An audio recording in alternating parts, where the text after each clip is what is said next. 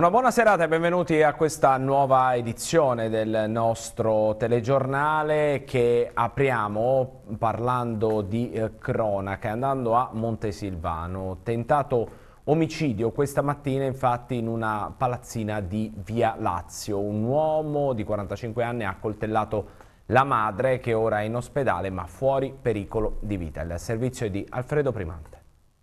Ci potrebbero essere i problemi psichiatrici di un 44enne alla base della lite sfociata in accoltellamento all'interno di un appartamento di Via Lazio 61 a Montesilvano. Il figlio della vittima avrebbe così sferrato una decina di colpi con un coltello da cucina alla madre 65enne che successivamente ha avuto la forza di chiamare aiuto e contattare il 118. È stata trasportata all'ospedale di Pescara e sebbene non sia in pericolo di vita ha riportato diverse ferite alla schiena che le hanno causato anche il perforamento della pleura, ragione per la quale è stata sottoposta ad intervento chirurgico. Anche il figlio della donna è stato trasportato in ospedale sia per la medicazione di alcune ferite provocate dalla colluttazione, ma soprattutto per un consulto psichiatrico specialistico, anche per accertare le cause dell'aggressione. Ora è piantonato dai carabinieri della compagnia di Montesilvano che stanno indagando per accertare le cause del gesto. Adesso cambiamo argomento, parliamo dei dati dell'emergenza sanitaria, dati che restano confortanti, quelli dei contagi Covid in Abruzzo, che oggi fanno segnare un più uno rispetto a ieri. Purtroppo però non si fermano i decessi. L'ultima vittima è un 85enne di Montesilvano. C'è solo un paziente in terapia intensiva per quanto riguarda l'emergenza coronavirus nella nostra regione e la curva dei contagi continua ad essere sostanzialmente piatta con un nuovo caso su un totale di 1530 tamponi analizzati pari allo 0,06% di positivi sul totale. In Abruzzo dall'inizio dell'emergenza sono stati registrati 3280 casi di positività al Covid-19, meno due perché sono stati rettificati due falsi positivi del 14 14 di giugno.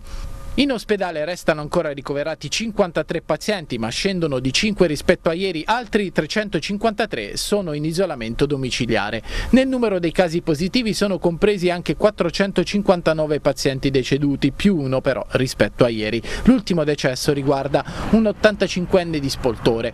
2414 sono i dimessi guariti, più 25 rispetto a ieri. 2297 sono le persone che hanno risolto definitivamente l'infezione. Gli attualmente positivi in Abruzzo, così calcolati, sottraendo al totale dei positivi il numero dei dimessi guariti e dei deceduti, è pari a 407 con una diminuzione di 27 unità rispetto a ieri. Del totale dei casi positivi, 246 si riferiscono alla ASL Aquilana, 830 a quella Teatina, 1542 a quella Pescarese e 662 alla ASL di Teramo.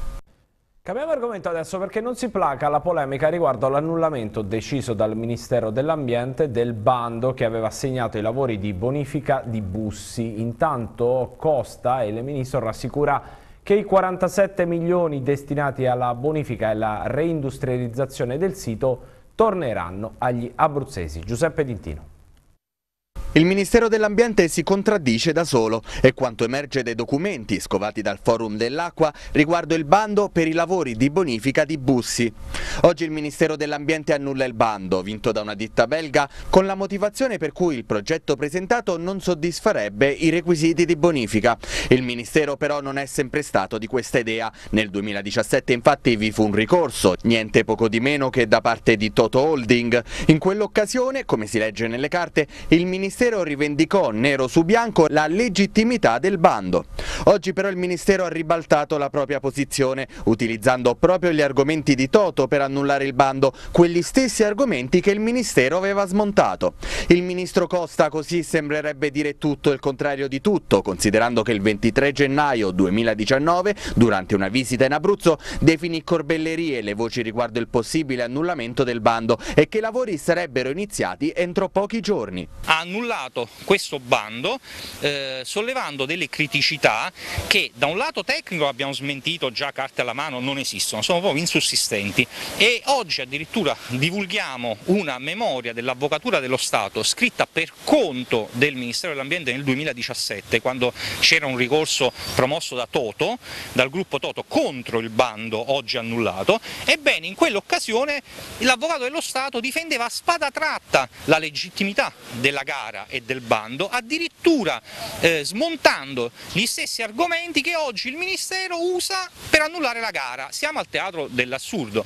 Appunto, addirittura l'Avvocato dello Stato diceva che il ricorso di Toto era anche infondato per una tardività nel sollevare queste eh, criticità e stiamo parlando del 2017. Passano tre anni e il Ministero dell'Ambiente riprende i motivi di Toto, li usa per annullare il bando a cinque anni dalla sua indizione. Veramente incredibile, qui rischiamo da un lato che la ditta che aveva vinto la gara farà probabilmente ricorso chiedendo molti danni, ma il danno è ai, cittadini abruzzesi che si vedono ritardare la bonifica di molti molti anni perché si dovrà riniziare da capo, mentre invece avevamo un progetto che prevedeva la rimozione completa dei rifiuti dalle discariche 2 e 2B, quindi la bonifica integrale che poteva, i lavori potevano partire immediatamente. Bonifica punto e a capo quindi, il che fa guadagnare tempo ad Edison, che secondo la provincia di Pescara, il TAR e il Consiglio di Stato è responsabile dell'inquinamento e in quanto tale deve tirar fuori soldi per la bonifica.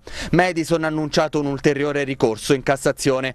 Qualora anche la Cassazione confermasse le sentenze precedenti, sarà Edison a dover riformulare nuovi progetti di bonifica che soddisfino tutti i requisiti, perché annullato il bando, i lavori nel frattempo non partiranno. Così le tonnellate di rifiuti tossici rimarranno lì, sepolte nel cuore della nostra regione, ancora per anni. Lo Stato è competente per il sito nazionale di bonifica di Bussi dal 2008. Sono passati 12 anni e non si muove neanche un chilo di rifiuti. E qualcuno, io spero che la Procura intervenga per chiedere al Ministero dell'Ambiente conto di questi ritardi, perché nel frattempo, mentre noi parliamo, da quel sito escono cancerogeni che vanno verso valle e vanno anche in aria. Intanto i fondi per il sito di interesse nazionale fanno avanti e indietro in modo quantomeno curioso. Dal Ministero dell'Ambiente erano stati misteriosamente ridesignati a quello dell'economia, ma ora Costa rassicura i 47 milioni saranno restituiti agli abruzzesi. In realtà dice una cosa che dovrebbe essere ovvia, eh, i fondi non non erano nella sua disponibilità per il semplice fatto che il Parlamento nel 2011 ha assegnato i fondi che erano del terremoto peraltro alla bonifica di Bussi nel 2011, nove anni fa, quindi il Ministro invece di fare trionfalismo diciamo così inutile dovrebbe spiegare come mai in questi nove anni questi fondi non sono stati spesi. E di Bussi ha parlato questo pomeriggio anche il governatore della regione Abruzzo Marco Marsiglio perché la regione, la provincia di Pescara e il comune di Bussi sono pronti a portare in tribunale il Ministero dell'Ambiente rispetto alla revoca dell'appalto per la bonifica delle discariche dei veleni. Eh, purtroppo a Bussi dove dopo tanti anni, troppi anni, si era arrivati ad avere finalmente una gara di appalto e un'impresa che avrebbe potuto già da un anno, se non di più, eh, iniziare questi lavori e portare quindi alla bonifica di un pezzo di questo SIN, si è tutto interrotto, il Ministero ha annullato la gara, quindi adesso ci dobbiamo affidare alla buona volontà di Edison di rispettare la legge e di presentare un progetto ugualmente valido eh, in, tempi, in tempi utili. Il timore è che Edison farà resistenza, ci vorranno anni e anni solo per arrivare ad avere un progetto condiviso e condivisibile, per questo noi insieme alla provincia di Pescara e al comune di Bussi eh, andremo in giudizio per chiedere al Ministero di annullare questa revoca della gara e di procedere invece all'assegnazione dell'appalto perché l'assegnazione dell'appalto consentirebbe domani di iniziare i lavori e di farlo in danno di Edison ovviamente, i soldi li anticipa il Ministero e poi da Edison dobbiamo solo farci ridare i soldi, è molto più semplice farsi ridare i soldi da Edison che non costringerli a fare un progetto credibile e serio di bonifica. Cambiamo argomento adesso, allarme nel mondo della scuola. La CGL di Teramo rende noto che a partire dal 1 settembre solo in provincia di Teramo andranno in pensione 226 lavoratori tra docenti, personale ATA e dirigenti scolastici. La preoccupazione del sindacato è che al rientro a settembre molti studenti teramani troveranno solo docenti supplenti.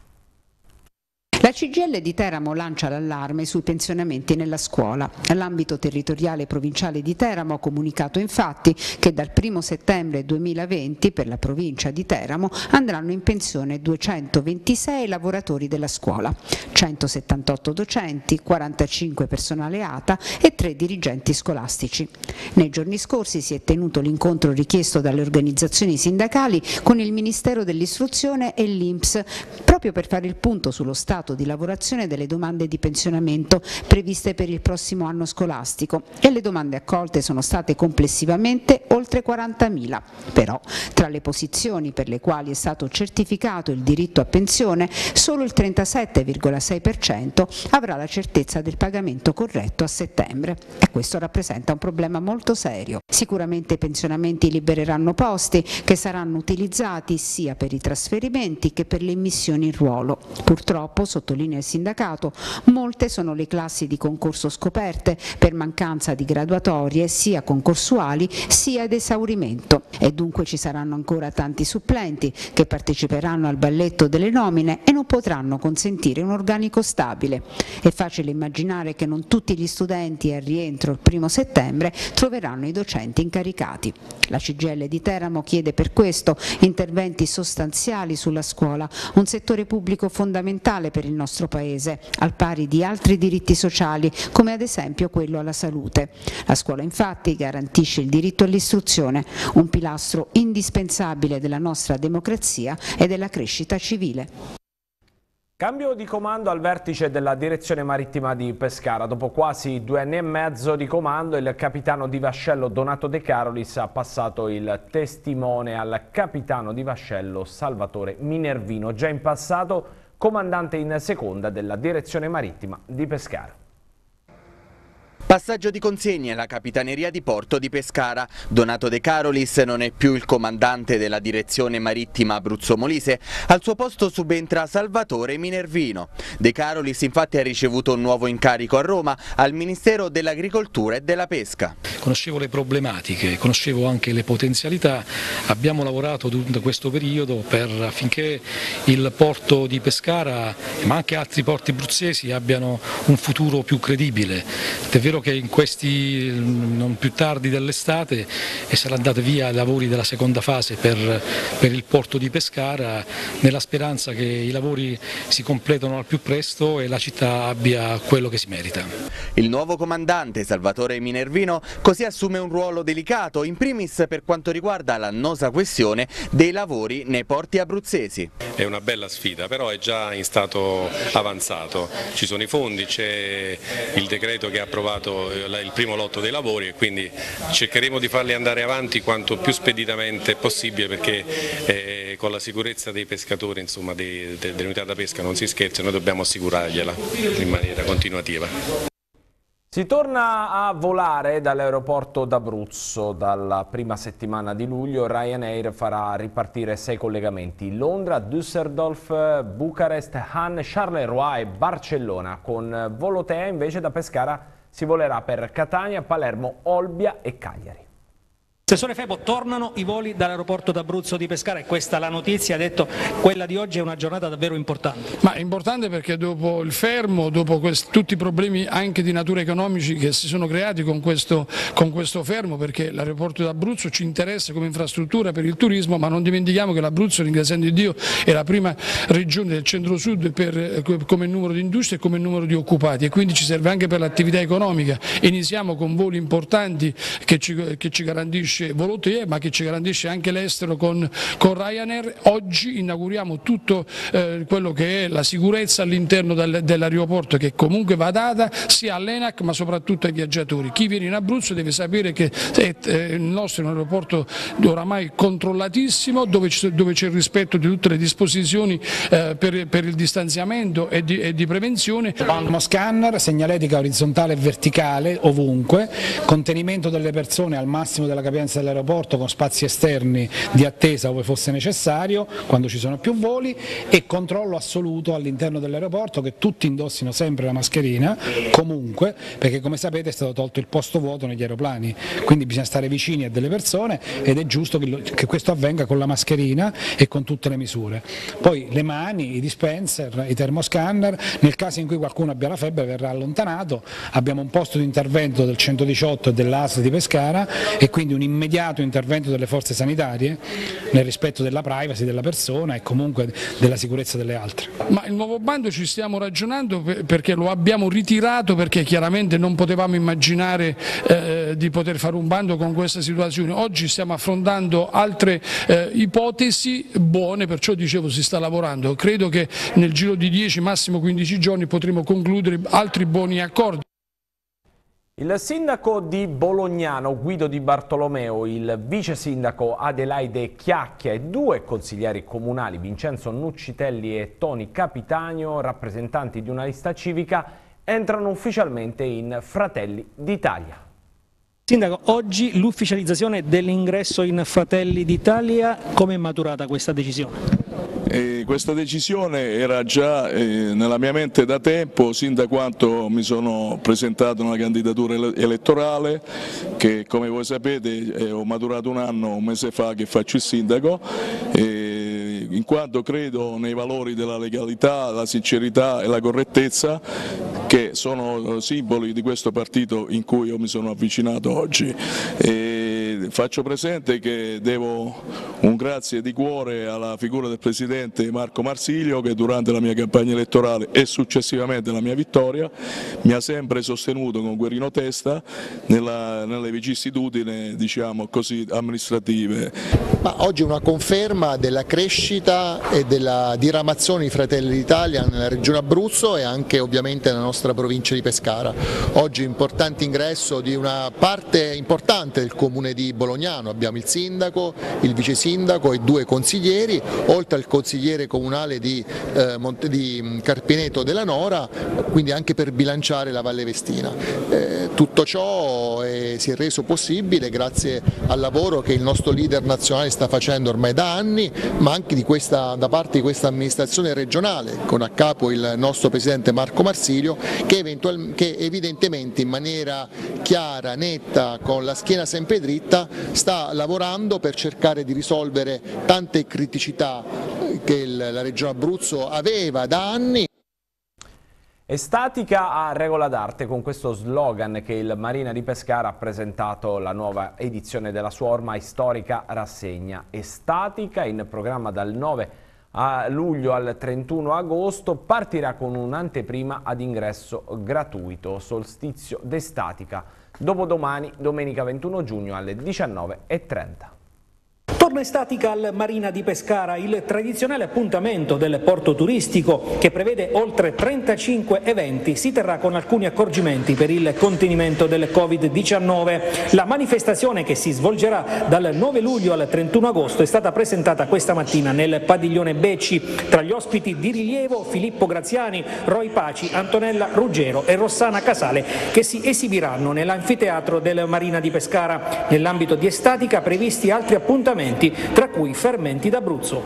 Abbiamo cercato di fare eh, tutto quello che era nelle nostre possibilità, ma soprattutto abbiamo puntato sulla sicurezza di questo porto. Naturalmente noi abbiamo un eh, rispetto della normativa anti-Covid eh, massimo, eh, abbiamo distanziato tutto quello che si doveva distanziare, abbiamo rinunciato a eh, due terzi del, dei nostri eh, posti a sedere nel nostro splendido anfiteatro perché abbiamo pensato che eh, in, questa, eh, in, questa, stagione non potevamo eh, interrompere, eh, anzi addirittura dovevamo, avevamo il dovere di farlo. La Camera di Commercio è stata sempre a fianco del Marina e vogliamo che eh, questo porto turistico abbia anche nella parte della cultura, dell'arte un ruolo importante importante nella nostra collettività. Presidente, ripartono i grandi appuntamenti alla Marina di Pescara, riparte la stagione estiva e questa è già una grande notizia.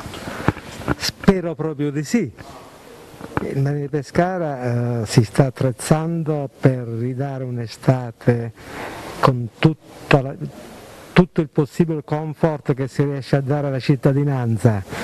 In questo momento particolare c'è stato anche il rinnovo del Consiglio di amministrazione, abbiamo puntato come Camera di Commercio con l'amico Salce che è già abbastanza vaccinato de, di questa amministrazione in quanto è stato, è stato da anni nell'interno della Camera come membro di giunta e allora conosceva già il sistema del Marina con tutta la sua esperienza, la sua volontà è stato prescelto e sono convinto che farà un ottimo lavoro. Adesso parliamo di sport e di calcio e partiamo dalle misure di sicurezza ovviamente perché una circolare del Ministero della Salute ufficializza l'allentamento del protocollo delle partite e domani si torna in campo per il turno di campionato in Serie B che vedrà anche protagonista il Pescara. Andrea Costantini. La quarantena soft è realtà. La circolare emanata oggi dal Ministero della Salute chiarisce quello che le squadre dovranno fare in caso di una positività diagnosticata all'interno del gruppo squadra.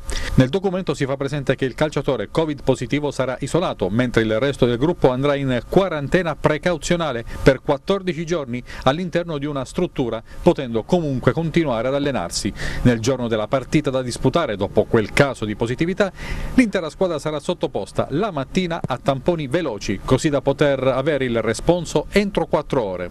Coloro che saranno negativi avranno l'autorizzazione ad entrare nello stadio per la disputa della gara, al termine della quale l'intero gruppo tornerà nella struttura per proseguire la quarantena fino al termine previsto, sotto sorveglianza attiva quotidiana da parte dell'operatore di sanità pubblica del Dipartimento di Prevenzione.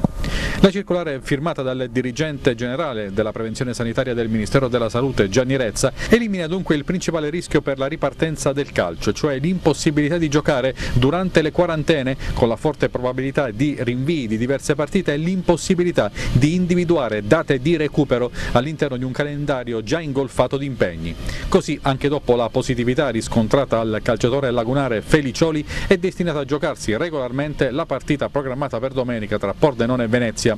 L'antipasto della Serie B è stato servito già con il recupero vinto ad Ascoli dalla Cremonese nel pomeriggio l'anticipo della ventinovesima giornata tra tra Spezia ed Empoli, domani buona parte del programma del turno con il match dell'Atletico Cornacchia tra Pescara e Juve Stabia, match che a proposito di protocolli testerà quello per l'organizzazione delle partite che prevede l'arrivo scaglionato di steward, forze dell'ordine, responsabili della sicurezza, tecnici del broadcaster, il limitato numero di giornalisti e fotografi, tutti sottoposti a misurazione della febbre con termoscanner.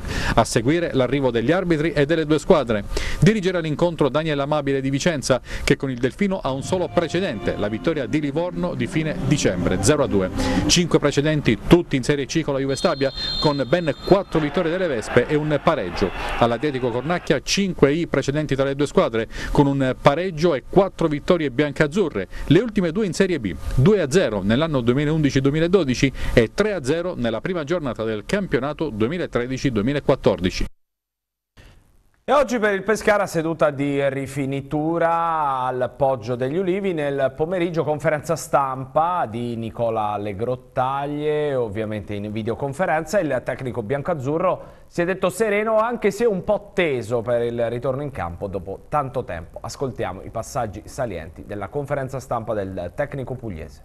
Io posso dire che essere contento e soddisfatto del lavoro che i ragazzi insieme allo staff abbiamo fatto, con tutto l'ambiente qua Poggio degli Ulivi, perché io metto sempre tutti, è stato difficile, è stato anche un po' complicato riprendere, riattivare una macchina, ma poi piano piano la macchina da fredda comincia a diventare calda e adesso non ci sono più eh, diciamo, eh, scuse, adesso dobbiamo solo eh, far andare questa macchina al meglio possibile. Io ho cercato insieme di prepararla al massimo eh, questa macchina, però ovviamente eh, domani sarà il primo test e capiremo che, in che condizioni siamo sappiamo che ci saranno dei deficit, ma per, per, per una questione fisiologica e quindi scientifica, quando non hai grandi, un grande minutaggio nelle gambe e non fai tante partite prima di iniziare, ovviamente sarai un pochettino indietro, ma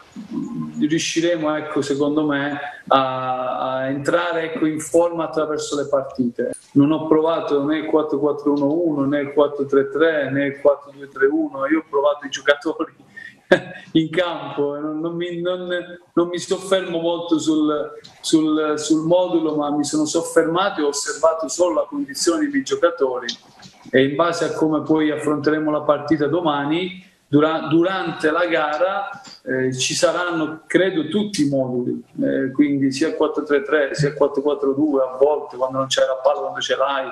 Cioè, eh, dipende molto dall'avversario e dipende molto dal pallone. Valzano io credo che ehm, non sarà mai pronto se non inizia a giocare e quindi questo è il mio, è il mio concetto, cioè un giocatore se non gioca non è mai pronto. Quindi Prima lo mettiamo in campo eh, perché noi sappiamo l'importanza di, di, questo giocatore per esperienza, per caratteristiche, per carisma. Io punto molto su questi giocatori, soprattutto in questo momento particolare dove c'è bisogno di tirare fuori ecco, tutto quello che è l'esperienza e il carisma di, di, di, un giocatore, quindi cercherò di sfruttare al massimo quel, quello che, che sono le mie risorse. Per Palmiero Ovviamente lui è, unico in quelle caratteristiche, come dicevi bene tu, eh, quindi sì, in base a quello eh, valuterò anche un, uh, l'insieme del centrocampo, come farlo rendere al massimo. È una scelta, a volte io lavoro sulle caratteristiche, quindi eh, sono d'accordo con te che l'assenza di Palmiero determina poi la, le altre scelte. Sereno eh, sempre, ma teso. cioè, nel senso, tutte e due. Eh, sono sereno, sì, perché comunque la partita di calcio è, è, bello, purtroppo non ci saranno i tifosi, che è la cosa che mi dispiace tantissimo perché il calcio eh, sono i tifosi, però eh, c'è da fare questo eh, percorso, lo faremo con tanta gioia e tanta passione lo stesso, eh, però teso, teso perché eh, diciamo concentrato, perché sto lì a, a focalizzarmi sull'obiettivo che quello che è domani, perché domani è il nostro obiettivo, domani è una grande opportunità, eh, come le altre nove, quindi sono dieci grandi opportunità che abbiamo per poter dimostrare di amare questa maglia. Eh, lo, lo, puoi immaginare il piano tattico, perché ognuno, ogni allenatore ce l'ha, però poi lo devi mettere nel contesto e capire che cosa accade. Perché tu dici ok, loro sono bravi lì, sono meno bravi lì, loro diranno di noi la stessa cosa, poi devi capire come risponde la tua squadra sulle situazioni in campo. È accostato proprio al Pescara in vista della prossima stagione, il tecnico della Juve Stabia Fabio Caserta ha parlato della partita di domani e delle incognite legate alla lunga sosta. Ma è cambiato parecchio rispetto a un'annata tra virgolette normale, abbiamo dovuto modificare un po' di cose, ma non credo solo noi, della, in questo caso della Juve Stabia, ma tante altre società.